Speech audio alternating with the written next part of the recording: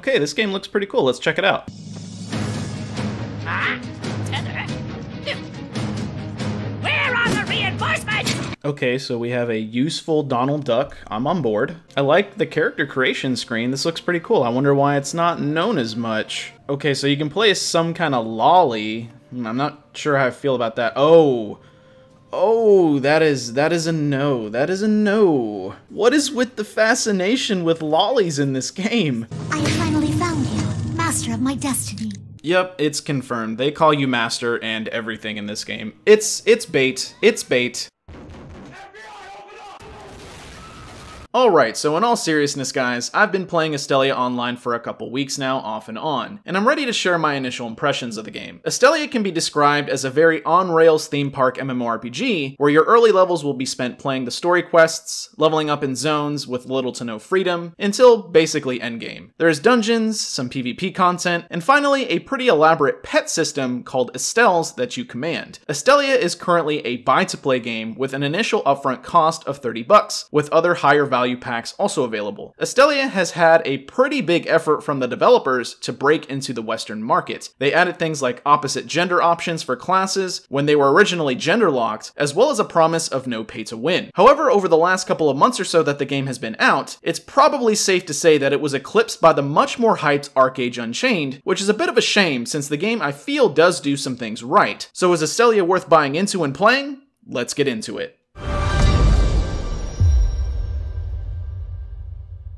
Astellia launched back in September of 2019, more specifically September 21st. As stated before, the developers of Astellia Studio 8 wanted to appeal to the Western market with this release. Much of its pre-launch campaign stated that it was a love letter to the classic MMORPG games of yesteryear, which I would have to say is a huge misrepresentation of what Astellia actually is. Astellia is more of a modern MMORPG take since it instances a lot of its maps as well as streamlines practically all of its questing. It's definitely not a bad thing if you like that sort of progression, but for Astellia to advertise it being a classic MMORPG is a bit puzzling. Anyways, Astellia's main strengths come down to its flashy combat, collection systems called the Star Tale, the very cliche but honestly funny storyline the game has, as well as its pet system. When I say Astellia's story is cliche, it's like basically the definition of it. You are essentially the chosen one that can see and summon the Astells of the world, which are basically these little mini-gods with immense power. I actually like the story to this game because it's just so dumb and silly, and I feel that maybe the developers knew this as well, since a lot of the cutscenes and dialogue never take itself too seriously.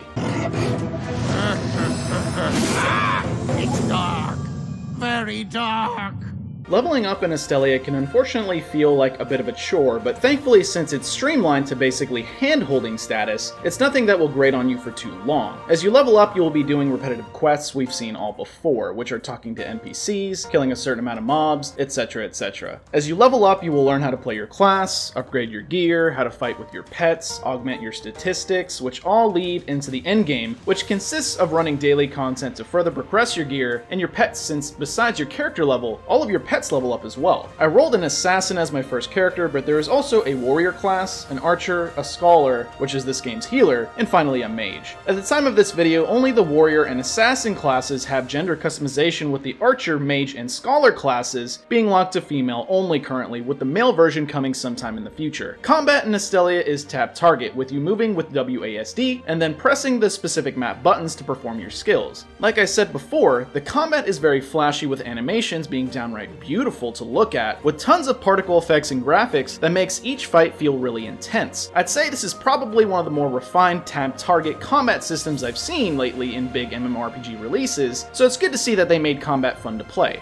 Going further into Astells, there is currently a whopping 34 pets to choose from, with 8 being equipped at once. Equipping and leveling up certain combinations of Astells will give you specific bonuses that will augment how you play with your class, so it's encouraged to try different Astells and level up all of them so you can swap out and try different builds for customization. Astells can also be customized further with different skins that you can either earn or buy in the cash shop for real money. The Astell skins are typically pretty lackluster from what I've seen, and usually only being a color swap or adding specific effects to it. A lot of them are also pretty lewd, I would just have to say. Oh my. Most skins cost up to 15 bucks to purchase, but if you are having fun with the game, I can see it being something that collectors would want to support, much like a MOBA game with their hero skins. The cash shop in Astellia is also just like Studio 8 promised, non-pay to win, since really the only things you can purchase in the cash shop currently is either a premium membership in packs of certain times or cosmetics. Many of the cosmetics I saw in the cash shop as well were pretty low priced with some of them being as low as a couple bucks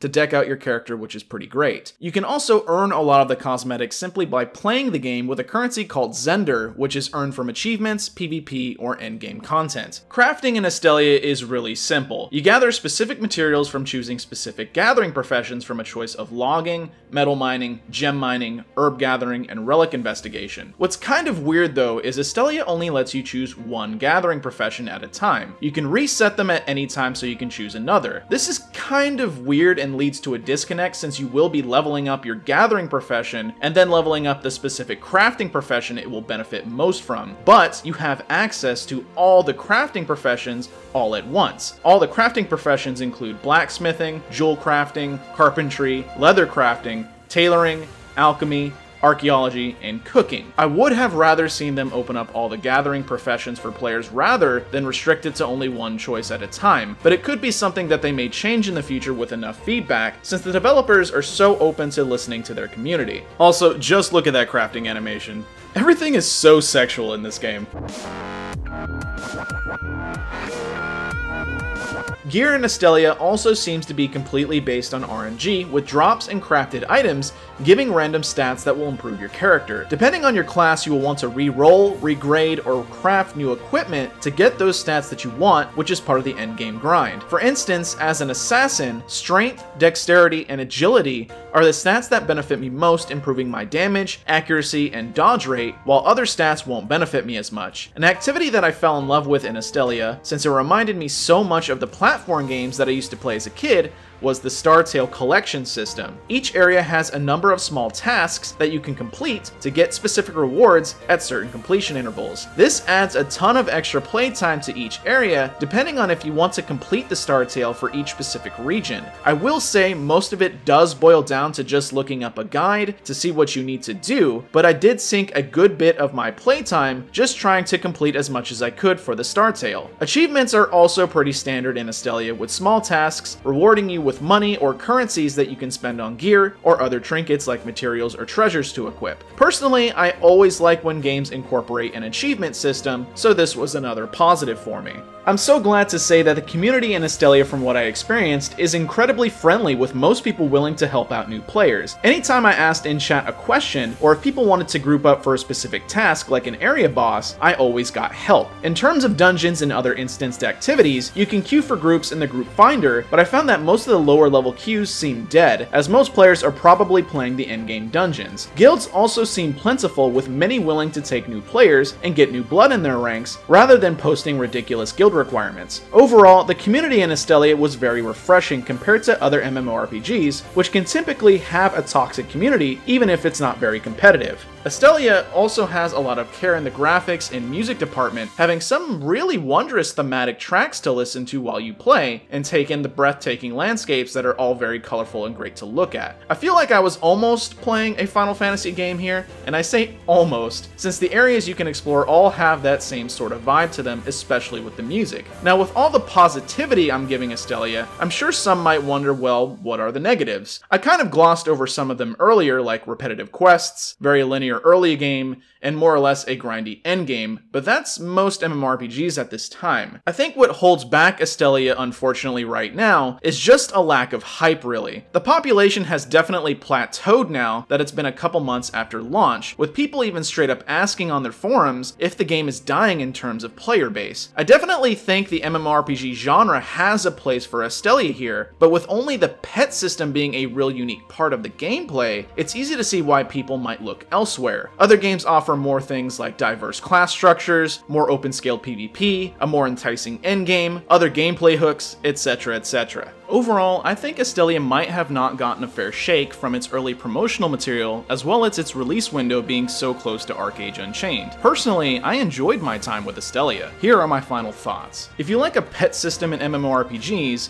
Astellia is right up your alley with tons of Astells to choose from, with more to come in the future. The community in the game is incredibly helpful and kind from what I personally experienced, which is a great thing to have, especially compared to other big releases recently that seem to gravitate a lot of toxic players for some reason. This specific release of Astellia is really trying hard to cater to a lot of mechanics that us in the West enjoy, which is rather nice to see for once from an Eastern-based MMORPG. Because of the work they did to fundamentally change and diversify itself from the Eastern version, it's gotten a lot of good faith from the community that they will strive to keep their promises. Combat is flashy, fast, and fun to look at, with tons of unique animations. You can definitely tell a lot of quality work went into it, so no stiff animations here, except for maybe you know, the generic casting. Magic missile! Magic missile!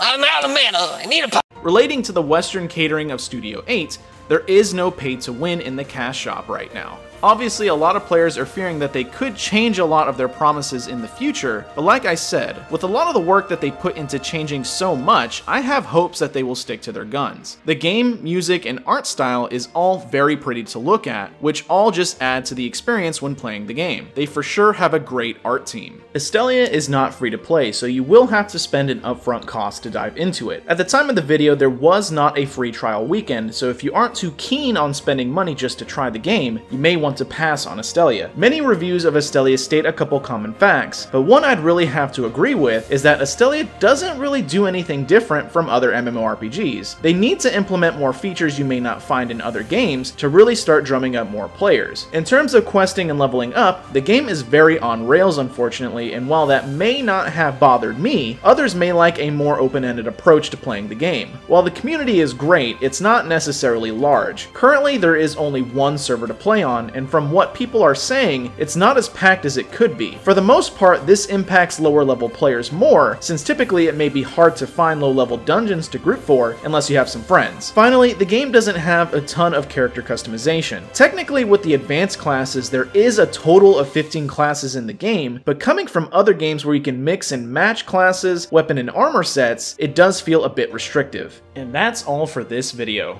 What did you think of Astellia? Are you currently playing it? Do you enjoy it?